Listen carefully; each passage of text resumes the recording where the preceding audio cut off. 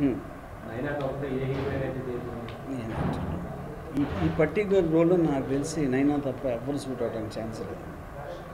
ఎందుకంటే ఆల్మోస్ట్ తను ఈ రోల్ పుట్టినట్టు అనిపించింది నేను పర్ఫార్మెన్స్ చూస్తే.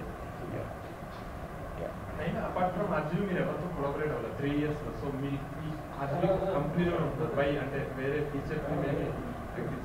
मैंने अभी तक सिर्फ़ बंगू बेटी और आजीवी का फ़िल्म किया है। It is not true because she is done a very big hit called Chitra Charitraheen यानी बंगाली हाँ yeah yeah feature film yeah correct feature film इसलिए नहीं की because I do want her to do any film before Beautiful because I am we are launching her in such a main role that is reason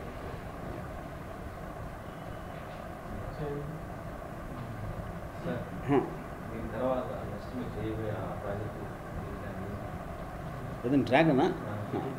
ఇంకా జరుగుతుందండి. ఆ తర్వాత ఒక పని. ఆ టాపిక్ మళ్ళీ ఇప్పుడే అది మాట్లాడేస్తే నాకు తర్వాత మాట్లాడడానికి ఉండదు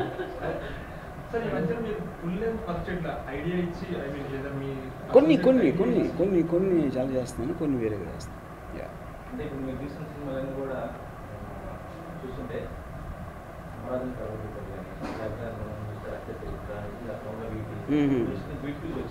అంటే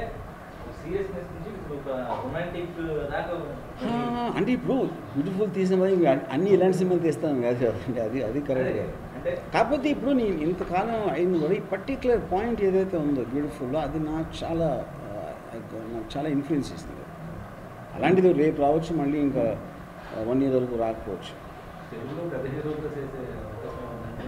దీనికి వంద సార్లు ఇచ్చింది సార్ సమాధానం. ఇప్పుడు నేను బేసిక్గా ఒక హీరో అనుకుని నా లైఫ్లో ఎప్పుడు చేరాను.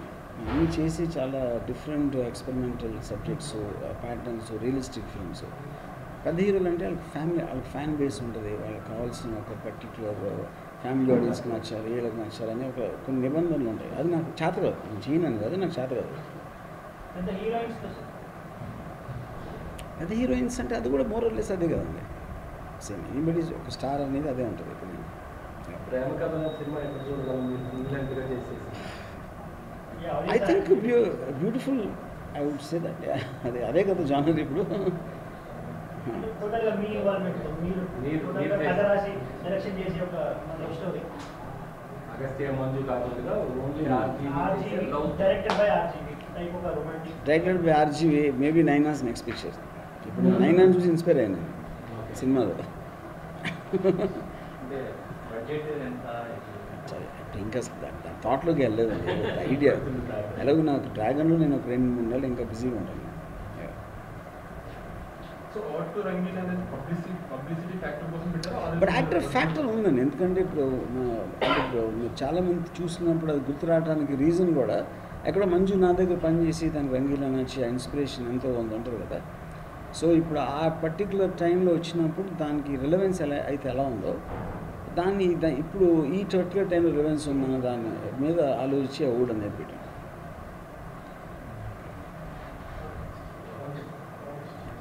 యా थोड़ा सा क- काम कर सकती हूँ और मैंने आज तक कभी डांस नहीं किया था और सर के वजह से ब्यूटीफुल में मैंने डांस करने का मौका मुझे मिला है सो इसके लिए थैंक और यू सो थोड़ा मच और ज़्यादा तारीफ किया तो मैं मर जाऊंगा नहीं ये सच है Yes. actually.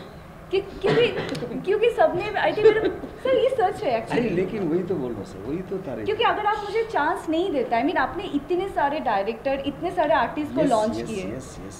सो पार्ट के ऊपर मेरे ऊपर आपने बिलीव किया है और ये जो मेरा जो मतलब मुझे डांस आता है ये किसी को पता नहीं था लेकिन ब्यूटीफुल में मैंने प्रूफ किया है तो ये ఇప్పుడు सब- చచ్చిపోయిన వాళ్ళు ఎంత పొగుడుతారు కరెక్ట్గా చెప్పండి పాపం మరీ మనం అనుకున్నంత చెడ్డోడు కాదండి అనుకున్నాం కానీ అప్పుడు ఆ- దానికోసం వెయిటింగ్ నేను ఈ- ఈ లైన్ सो ఎస్ आपको सर मैं ये बोलूँगी thank you so much sir और ऑफकोर्स आप आप लोग मुझे एक चीज़ बहुत अच्छा लगा मैं बार बार मुझे साउथ बहुत पसंद आता है. मुझे तेलुगु फ़िल्म करना है मैं कर भी रही हूँ सर ये तो सही है. तो मैं तेलुगु ऑडियंस मतलब मैं कोशिश करती हूँ कि कुंचुम कुंचुम तेलुगु सीखना थोड़ा कोशिश करती हूँ लेकिन जब मैं यहाँ से थोड़ा बॉम्बे जाती हूँ तो मैं भूल जाती हूँ. तो मैं कोशिश करूँगी कि बैक टू बैक मूवी करूँ. हाँ बताइए. यू अंडरस्टैंड तेलुगु थोड़ा थोड़ा आप बोले ना कि तेलुगु आपको समझ में आता है ना? थोड़ा थोड़ा ये अगर मैं रहना शुरू करूँ तो मुझे समझ में आ जाएगा। लेकिन जब आपको जब डायलॉग बोलना पड़ता है तो तेलुगु में ही बोलना पड़ता है। सो so, आपको थोड़ा सा रहते रहते लेकिन मैं तेलुगु मुझे बहुत पसंद आता है ऑडियंस क्योंकि मैंने आप लोग बहुत मैंने बहुत प्यार देते हो। माँ माँ बोलते हो। सबसे ज़्यादा मुझे आप लोग का खाना बहुत पसंद आता है। You know fish non veg वो सब दिखावा है अंदर से हम राक्षस No. हैं। नहीं बट सीरियसली मुझे मैं मतलब मुझे चांस मिलता है तो तेलुगु फ़िल्म का तो मैं करती रहती हूँ ऐसा नहीं है लेकिन मुझे अच्छा लगता है Hyderabad. And thank you thank you से अभी इंस्पायर हो गया आपको देख के। हाँ। So hi, I'm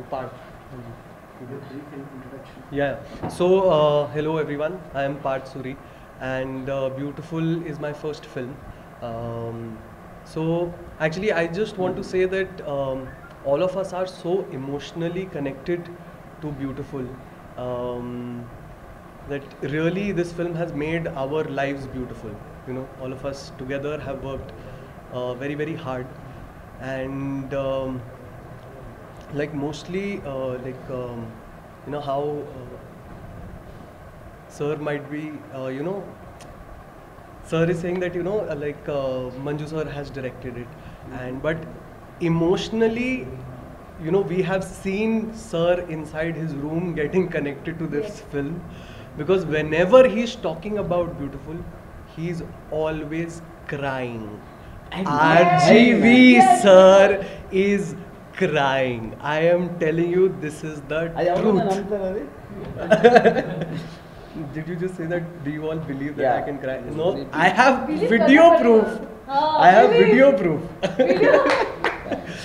so, um, so first of all, I really want to thank um, you know RGV sir and Manju sir and Nena that you know uh, like um, like for all their support uh, for us to really be able to perform and uh, like sir made us sir made sure that we are very clear about the characters manju sir made sure that all the characters are very very realistic Naina made sure that I am very very comfortable because I was a little hesitant. So thank you all of you. Yeah. you know. And uh, um, it is a very high on energy packed film. It is an intense love story. It is not a normal love story. It is after a long long time that sir is coming up with an intense love story so it has blood it has love blood yeah, it's blood no no we have given blood so it's it send a wrong signal it looks like ఈ సినిమాలో Not even a slap. So don't don't yeah so um, so I hope all of you really, really enjoy. We have worked hard. We have given our heart and soul. So uh, please watch Beautiful and let us know how it was. Thank you. Yeah. Okay. Okay.